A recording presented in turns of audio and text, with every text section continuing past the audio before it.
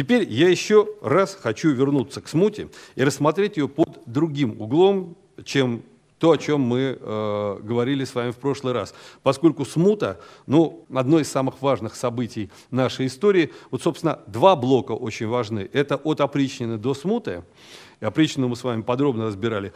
Э, второй блок – это от 17 года 1900 до 1939 ну и потом то, что произошло уже в конце 20-го, начале 21 века и продолжается сейчас. Вот это такие узловые точки истории, тем более, что все эти точки перекликаются. Значит, и хочу я, э, сказать, начать разговор о смуте, вернуться к смуте с того праздника, который у нас называется 4 ноября. Как называется этот день у нас? День народного единства. Я вам уже говорил о том, что Праздник этот был введен, чтобы отодвинуть 7 ноября. 4 ноября – это далеко не лучшая дата для демонстрации единства русских. Реальность была сложнее. Еще одна сложность реальности – это когда нам говорят, что была крестьянская война под руководством Ивана Болотникова. Дело в том, что крестьянских войн в России вообще не было. У нас были казацко-крестьянские войны. Болотников, Степан Разин, Булавин, а, Кондратий Булавин, Емельян Пугачев. Это были казацко-крестьянские войны. Как только казаки бросали крестьян, а казаки, как правило, бросали в какой-то момент крестьян, тут же крестьян вырезали, и все заканчивалось. Значит, наши сказать, войны, э, социальная борьба в России – это казацко-крестьянские войны. Еще один момент, э, еще один момент, который обязательно нужно уточнить по поводу смуты, это интервенция. Во всех смутах, которые были в нашей истории, в первой, второй и в третьей, третья, которая началась в 80-е годы со смертью Брежнева, имела место интервенция. В, первой, в первых двух смутах это интервенция военная, физическая, в третьей смуте это интервенция финансово-информационная. И э, но вот в первой смуте есть один, один нюанс. Дело в том, что реальная интервенция все-таки началась в 1609 году, когда Василий Шуйский договорился со шведами, что они помогут в борьбе против Тушинского вора. А вот это вот весь сброд, который шведы набрали, они отказались воевать, потому что решили деньги получить сразу. И, по сути дела, это полуинтервенция, полу такой бандитский а, разбой. Значит, э, то есть нужно помнить, что интервентов привел Василий Шуйский. Вообще нужно сказать, что роль предательства высшего сословия в первой смуте, ну а также и во второй, и в третьей, крайне велика, потому что э, Владислава II, притащи, Владиславу II присягнули бояре-предатели. И потом Пожарский совершит грубую ошибку. Он решит, что он с ними замирится, и они поддержат его притязание на русский престол. Он объявит бояр-предателей, которые сидели с поляками в Кремле, он объявит их пленниками поляков, что поляки их якобы взяли в плен. Это было абсолютно не так, и Пожарскому потом придется очень э, сильно раскаиваться, потому что для э, предателей – Пожарский был укором их нечистой совести, и он был, это был прямой угрозой. Сейчас простил, а завтра, может быть, вспомнит. И поэтому, когда род Романовых оказался на престоле, род Романовых – это тоже род таких же предателей, поскольку Романовы присягнули Владиславу II. Естественно, Пожарский оказался персоной нон-грата. Нон Еще одна вещь по поводу э, смуты Русская смута начала XVII века была интегральным элементом кризиса общеевропейского, а точнее мирового кризиса XVII века. И кризис этот закончился 30-летней войной, которая, по сути дела, Россию спасла, поскольку после смуты Россию можно было брать голыми руками, но европейцы, в Европе начиналась 30-летняя война, и Россия получила 30 лет передышки. О том, насколько э, Россия была в плохом состоянии, свидетельствует следующее. Осенью 1617 года польский королевич Владислав Ваза, тот самый, который, которому присягнула Москва в августе 1610 года, пошел отвоевывать у самозванца, как он считал, Михаила, московский престол. И весной 1618 года он вышел к Вязьме, а главным его союзником были запорожские казаки во главе с Гетманом Сагайдачным. И Гетман Сагайдачный решил выйти к Москве, пройдя по, по тылам. Он обошел засечную черту и 7 июля вышел у города, к городу Ливны, который он захватил. Я причем подчеркиваю, армия у него была 20-тысячная. У Михаила такого количества людей не было. Плюс еще Владислава войска. Значит, дальше они берут Елец, берут э, Ряжск и утыкаются в город Михайлов. И вот эта история показывает, как вот некие случайности э, решают иногда историческую судьбу. Э, Сагайдачный решил взять Михайлов. Для него это был вопрос чести. Почему? Первый, э, первая атака на Михайлов была отбита. Михайлов защищал 262 человека во главе с воеводой Степаном Ушаковым, очень упертым мужиком, который решил, в принципе, он мог бы сдать город, и им бы сохранили жизнь. Но Степан Ушаков был мужик упертый и стоял в упор и отбивал э, атаки вот этой 20-тысячного войска. Э, три раза э, Сагайдачный пытался взять Михайлов, и три раза ничего не получалось. Потом тогда Сагайдачный плюнул и пошел на Москву. Но он потерял 10 дней. Он притопал в Москву э, в октябре, и 10-11 Владислав и Сагайдачный начали штурм Москвы. Штурм был отбит, а потом врезали холода в октябре. И вот эти вот приди они на 10 дней раньше, трудно было сказать, как бы сложилась судьба Москвы, потому что у Михаила Романова войск с войсками было не очень хорошо, да и предателей вокруг хватало тех, кто хотел бы иметь Владислава, а не Михаила. Но сильные холода заставили Владислава уйти в Троицкий Сергиевский монастырь, ну и был заключен Диулинский мир, о котором я вам говорил, 1618 года, на 14, точнее перемирие на 14,5 лет, Э, Владислав э, не снял свои претензии на русский престол. Э, Михаил дал большие, отдал полякам большие территории, за что вернули его отца Филарета. А Сагайдачный вернулся в Киев. То есть вот эти 10 дней под городом Михайлов, где вот эти стояли 262 мужичка, они решили, они решили исход компании, по-видимому, спасли Москву. Э, несопоставимое событие по значению – это 1941 год. У нас очень часто говорят о катастрофических поражениях Красной Армии. Да, действительно были поражения. Но самое главное заключалось в том, что к концу августа Гитлер не э, разбил Советский Союз, а у Гитлера на победу в войне было два месяца. Дальше он мог играть только на ничью. То есть вот это сопротивление Красной Армии, которое она оказала в первые два месяца войны, оно, по сути дела, э, лишило Гитлера возможности победить Советский Союз. Дальше можно было играть только на ничью или, или на проигрыш. То есть некие ошибочные решения, когда речь идет о нескольких днях. Кстати, там тоже потом ударили морозы, хотя, конечно, дело не в морозах, а в героизме советской армии. Вот. Но вот иногда бывает, что 5, 7, 10, 1, 3 дня решают исход неких исторических событий. Вот э, смута один из примеров. Давайте теперь посмотрим сказать, такую, на чисто теоретически, что такое смута, характерные черты. И э, вот я вам сейчас пять черт назову, и Давайте иметь в виду не только смут начала 17 века, а сразу проецировать на начало 20 и на, на события конца 20 века. Значит, первая характеристика смуты, давайте это запишем, это утрата центральной властью или центроверхом монополии на властную субъектность. Субъектов властных появляется 2, 3, 4 и больше. Значит, характеристика смуты – утрата центральной властью монополии на властную субъектность.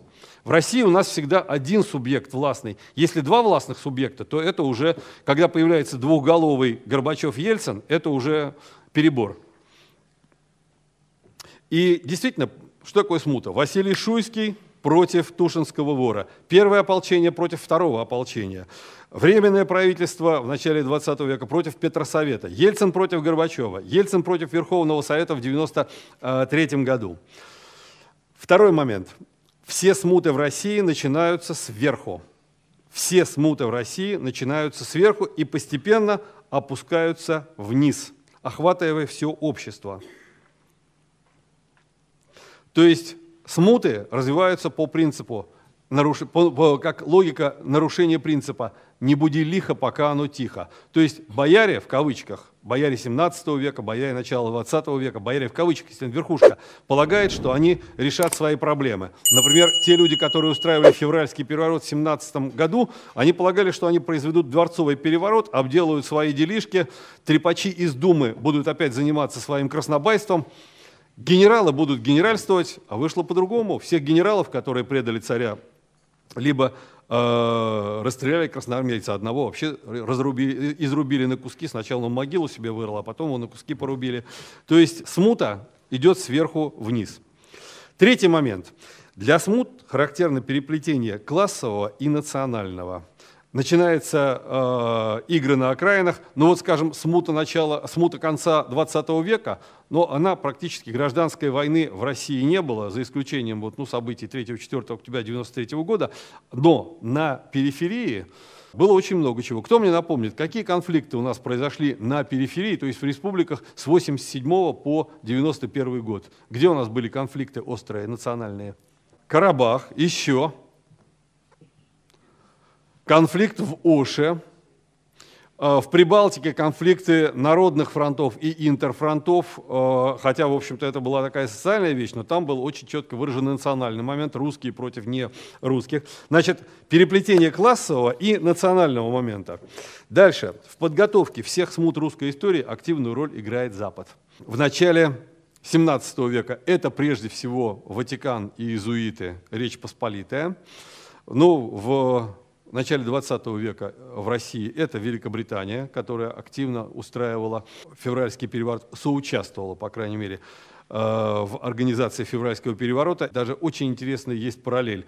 В январе 17 года посол Великобритании Бьюкенен сказал Николаю II, что он должен уйти. И Николай II, чтобы вместо того, чтобы его вышвырнуть из страны, он это проглотил.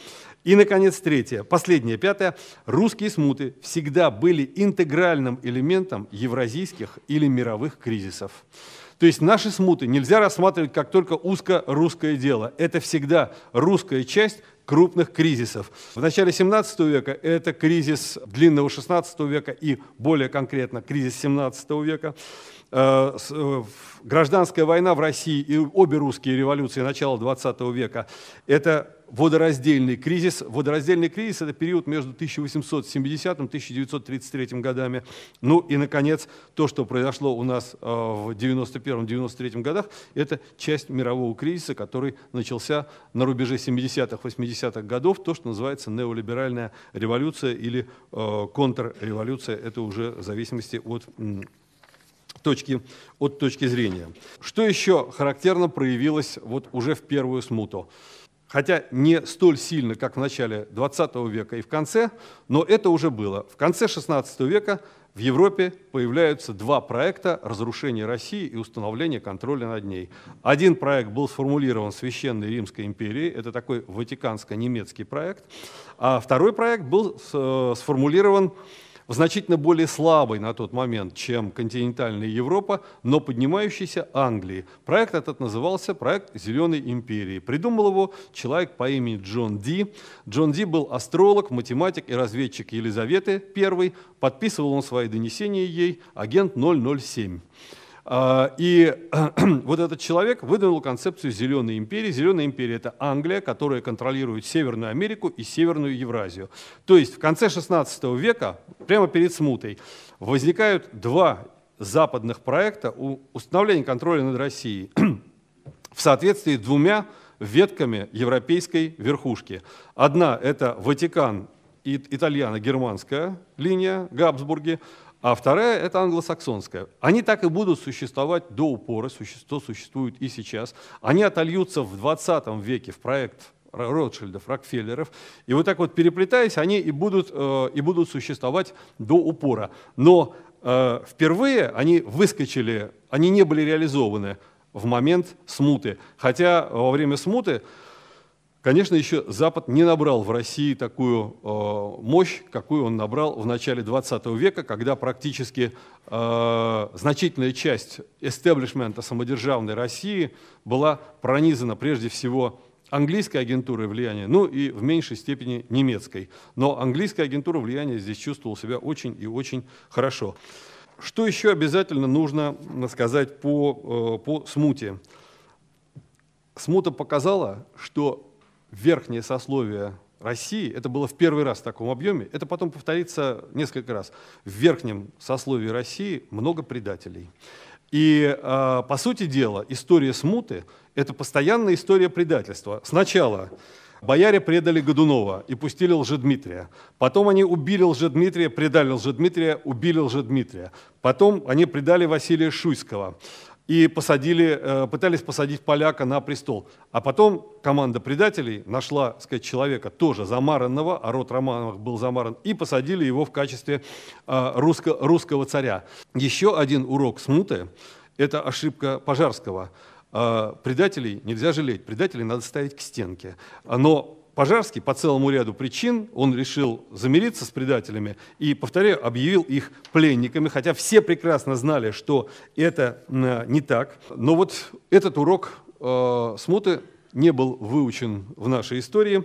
Но хотя это не единственный урок смуты. Значит, если говорить об уроках смуты, и особенно смотреть сегодняшнего дня, то первый урок смуты заключается в том, что ослабление, любое ослабление центральной власти в России и ее олигархизация – ведет систему к краху. Причем не только систему, но и социальную систему в целом. Потому что имперскость в России – это не политическая характеристика, как на Западе, а нечто значительно более серьезное. Я вам очень рекомендую прочесть книгу отца Врангеля, я вам уже называл, по-моему, ее, а, «От крепостного права до большевиков». Это одна из лучших книг России.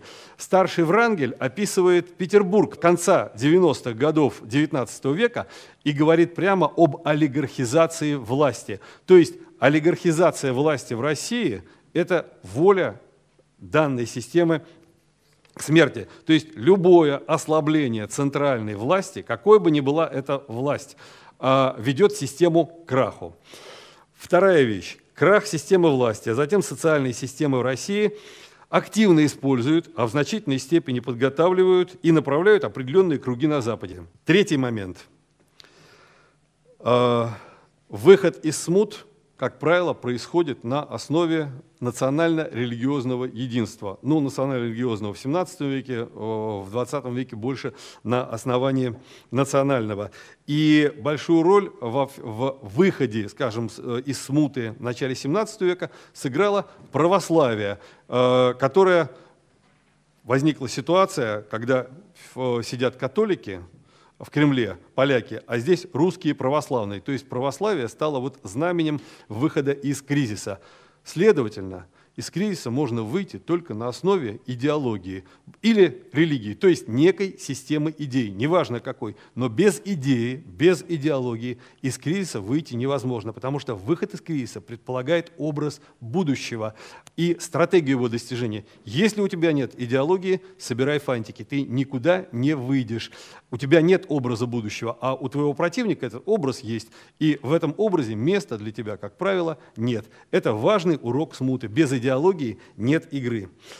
Четвертое. Один из важнейших уроков смуты, связанный с диалектикой национального и классового, заключается в необходимости предварительной изоляции пятой колонны. То, что Годунов так мягко относился к своим оппонентам, привело к э, той ситуации, которая закончилась его смертью, смертью сына, смертью династии и началом, началом смуты. То же самое э, произошло с Николаем II, который знал о существовании заговора, о, ему, у него была масса информации по предательству генералов, но он причем не обязательно людей к стенке, к стенке ставить. Когда я говорю ставить к стенке, это не только, э, не столько в прямом смысле, хотя иногда это нужно бывает и в прямом смысле сделать, но речь идет об элементарной вещи. Политика правовое подавление, отстранение от власти, отсечение от финансовых потоков, отсечение информаци... от информационных потоков. Разумеется, если это не, полагает, тогда, не, не помогает, тогда нужно отсечение от жизни. Но, как правило, хватает, э, вполне хватает этого. То есть работа э, очень четкая работа с антигосударственными элементами. И, наконец, э, пятое. Нужно помнить, что из смут общество выходит за счет кого-то. То есть обязательно, мы хотим выйти из смуты, но кто-то обязательно выиграет, а кто-то проиграет. И если посмотреть на смуту начала 17 века, то проиграли низы, выиграла середина общества, то есть среднее дворянство, среднее купечество, старомосковское, то есть незнатное боярство. Самый верх боярства, которое затеяло смуту, большая часть его соскочила, и 17 век стал упадком боярства. Низы проиграли, они пошли под крепостное право. В этом отношении, кстати, вот если говорить о смуте начала 20 века, о революции 17 года, какие слои выиграли? Средние или нижние? Нижние выиграли. А в смуте конца 20 века какие слои выиграли? Нет, не верхние. Верхние слетели у нас все.